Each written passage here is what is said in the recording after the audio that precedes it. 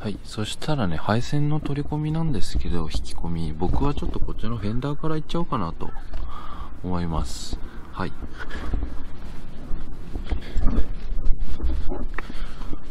で、こちらから、ちょっとね、こいつを引っ張って、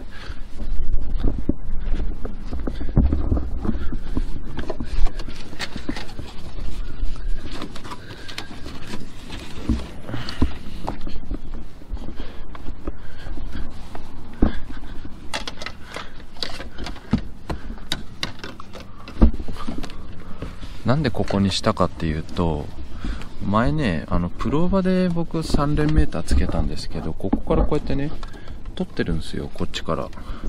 だからこっちから、この中に入れていっちゃおうかなという感じで。はい、引き込みこんな感じです。はい。で、えっと、まずスロットル信号の方は、まずグローブボックスを外して、ここにまあ ECU があるんですけど、ここにいっぱいカプラーありますよね。これの一番奥のカプラーの、この白い線から取っていきたいと思います。はい。はい。んで、次は車速か。このやつは、カプラーここの、えっ、と ECU の1、2、手前から2番目のカプラーを抜いて、で、こっち側、こっち側のオレンジの線があるんですよ。ここに。横に青オレンジの色の線があって、左にオレンジの線がある。そこから取ります。はい。はい。で、こちらの配線は、こっから、よいしょ。中をこうやって通してる感じです。で、今ちょっともう配線をまとめちゃったんですけど、あとは、このマイナスボディにつけるのと、あとこれプラス電源。この前動画で紹介した、あの、のれん分けハーネス、オープンコネクター、オプションコネクターの ACC 電源がこの上の中にいるんで、そこにちょっとね、こいつをつけていきます。はい。えっ、と、今ね、もう全部配線が終わって、まあこんな感じで、まあ、プラスとマイナス取るだけ。はい。とりあえず今ね、着きました。運転席の視線から見るとこういう感じでモニターが3つ。ちょっとエンジンかかるかやってみますか。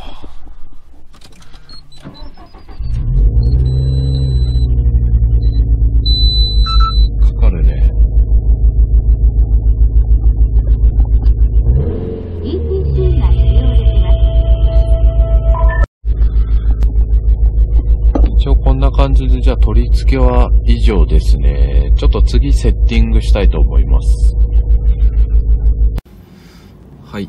えっ、と、で、まあ、セッティングの方なんですけど、えっ、と、今取り付けしてから結構しばらく乗って、ちょっと自分でこう試行錯誤して、ちょっといろいろやってみたんですけど、一応ね、メニュー1の方は、ブースト、まあ A で設定してるんですけど、まあ120、オフセットも100のまま、ドロップブーストはオフで、ワーニングはまあ180ぐらいしてます。一瞬ね、オーバーシュートが結構いっちゃう時があるんで、一応ちょっと高めにしてます。そんなかかんないですけど、一応ちょっと高めにしてて、で、まず2。っていうか、あのね、最初に設定するときに、まず5からやって、このランゲージのところをジャパニーズにした方がいいです、まず。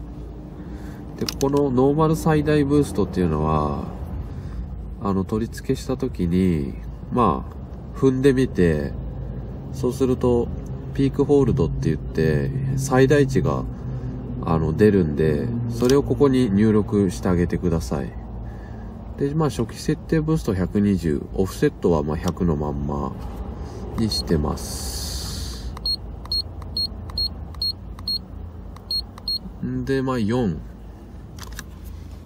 まあこの圧力単位とか、排気バイパスタイプ、気通数、車速パルス、入力信号線とかはこんな感じ。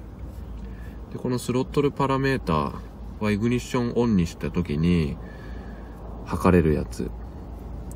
前平全開。過去アクセル、今左が動いてますよね、これ。アクセル全開すると3910。で、クローズだと670とかね。で、これを全部合わせてあげてください。ってなると、あとまあいじるとこって言ったら、この6、パーグラフ最大値っていうのが、普段使ってる時のグラフのことですね、これ。これが、こう、最大がどこまでいくかっていう設定。で、細かいブーストの設定は、この2っていうところでやるんですけど、一応ね、レブスロットル両方のやつでやってます。これが、スロットルだけだとこういう感じ。レブだけだとこういう感じ。レブスロットルだとこう細かく設定できます。で、こういう感じで、一応ね、インプレッサネットのやつを、割とほぼ参考にして、もうほぼほぼ同じです。まあ、割かし多分インプレッサネットさんもノウハウがあるんで、まあ、とりあえず同じぐらいにしとけば間違いないかなという感じで、乗った感じも別にそんな悪くないんで、一応こういう感じでやっております。で、実際にどういう感じでブーストかかるかちょっと今走ってみようと思うので、はい。一応走ってみます。はーい。一応今3 3速3000回転です。ちょっと今踏み込んでみたいと思います。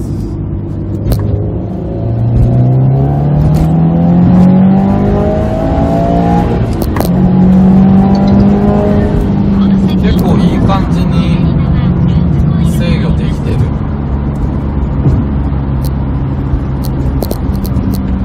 ピピークが多分1.5ぐらいで、こう回るにつれて落ちていく感じ。一応まあ、うるせえ。えっと、一応ね、エンジン保護の目的で、高回転はどんどんブーストを落としていく感じの設定になってます。まあ、だから、低回転、中回転は、もう、ドカッとブーストかけちゃって、上に行くにつれて落ちていくような設定にはしてあります。